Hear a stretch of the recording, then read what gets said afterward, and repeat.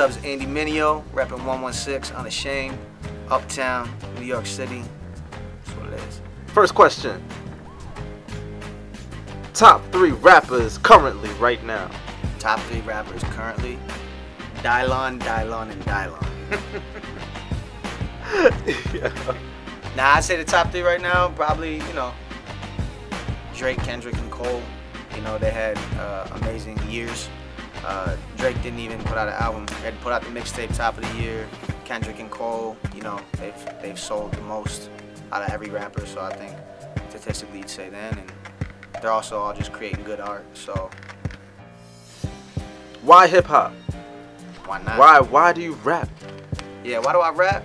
Man, I fell in love with it. Um, you know, I, I don't know why everybody starts rapping. It's usually different reasons, but for me, I fell in love with the art form uh, real young. I was about 10. So me and my man Ryan, we started started getting into it, writing parodies to other people's raps and then writing our own. And uh, it just became an outlet of expression for me, and I always have, I've always had fun with it. So I can't I can't get it out of my system. I was born to create, so you know, uh, if it ain't gonna be rap, it's gonna be something else. So that's why you know we do so much stuff.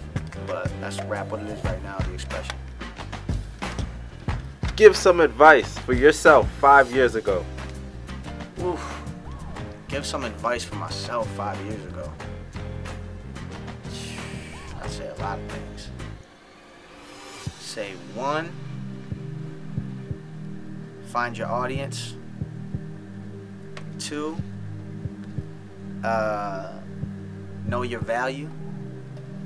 And three, don't be afraid to network and build relationships with people outside of your circles. You know what I'm saying? You don't want to uh, you don't want to bubble yourself in or isolate yourself because even though that can be immediate um, uh, relationship building, it ends up cutting you off long term from being able to have a, a bigger reach and a bigger expansion. Shout out to OkeVizionz. I see you, New York City repping. Stay up.